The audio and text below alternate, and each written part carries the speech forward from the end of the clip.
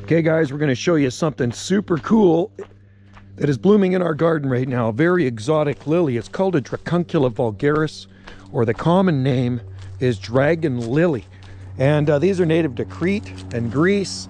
And uh, oh, they smell like carrion or rotten meat. It's kind of really gross smelling, but super exotic. I planted it many years ago, a bulb, and it just keeps coming up every year. We have another one in a pot too. So uh, perfectly cold tolerant for this climate, but super exotic. You can see the spotted kind of stem on it. But uh, yeah, I don't know what pollinates these things, man, but it sure does stink. It's not a nice smelling flower, but it's sure beautiful. Look at that.